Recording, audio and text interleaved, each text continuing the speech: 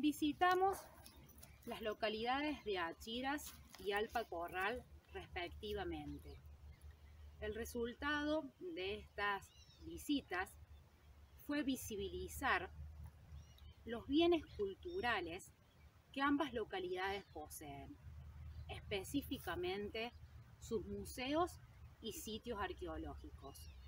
En relación a los primeros, en la localidad de Achiras visitamos el Museo del Desierto y el Centro de Interpretación Cultural Casa de los Oribe. Como así también hicimos un recorrido por todo su casco y centro histórico de esta localidad. Además, tuvimos la oportunidad de visitar el sitio arqueológico in situ El Ojito, ubicado en las inmediaciones del balneario de este pueblo.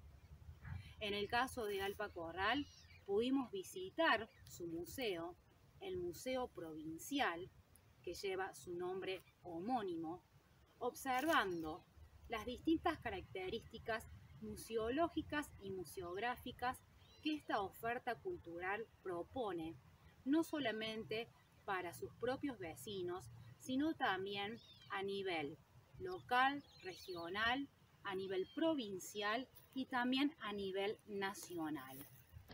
El patrimonio es un recurso esencialmente no renovable. Se trata de una riqueza de enorme fragilidad cuyo reconocimiento ha cimentado desde hace algunas décadas una gran sensibilización hacia la preservación de la memoria que estos bienes patrimoniales generan. Por ello, su patrimonialización y visibilización como políticas de la cultura.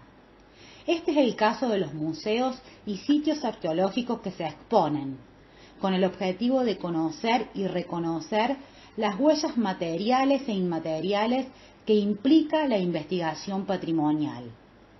Pierre Nora, figura clave en la apertura de la reflexión y de la investigación contemporánea sobre la memoria, señala que la memoria moderna es, sobre todo, archivística. Descansa enteramente en la materialidad de la huella, en la inmediatez del registro, en la visibilidad de la imagen, y los medios masivos de comunicación estructuran y organizan esa presencia del pasado en todos los ámbitos de la vida contemporánea.